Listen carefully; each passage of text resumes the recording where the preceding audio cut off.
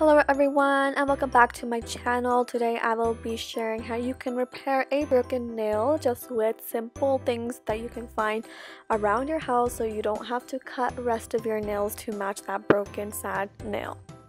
Alright, all you're going to need is some nail polish remover to remove any existing nail polish. You're going to need a file, a buffing blocks, pair of scissors, tea bag, and nail glue. So I am just starting off by removing the clear nail polish I had on. And here's a close-up of my broken nail. Alright, now I'm just grabbing my tea bag and I also have a paper towel just to place my tea bag once it's cut onto so I don't make a mess out of it. So I'm just going to start by cutting off small little pieces off of the tea bag. So I am going to start cutting off the tea bag into smaller pieces according to my nail size.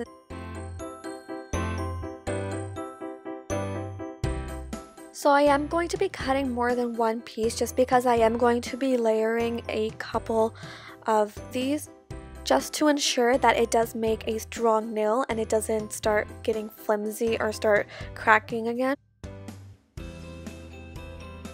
So I did decide to place these little pieces vertically on my nail just because it made more sense to me.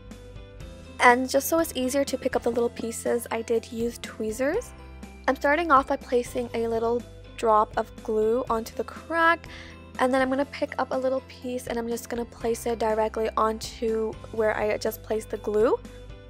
And quickly I noticed that the whole entire tea bag piece did not get saturated so I knew that I would need to put a little bit more glue on so that's what I'm doing right here.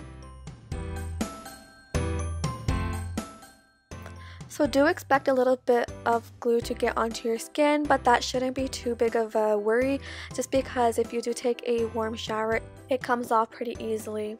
So after adding a couple of layers of the tea bag, I am going to start filing. You do want to be really careful with the filing and be really gentle because the fibers do come off really easily.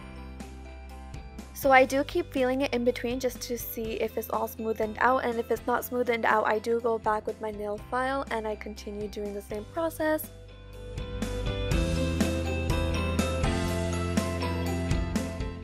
Just to smoothen it out, I did use a buffing block which I found worked a lot better and it was a lot more gentle.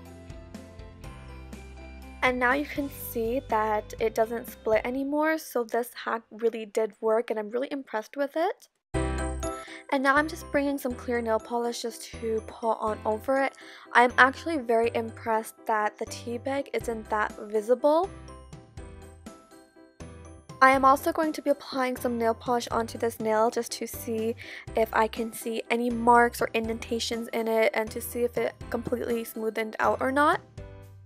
I'm just grabbing a bottle of white nail polish and painting one coat of it on.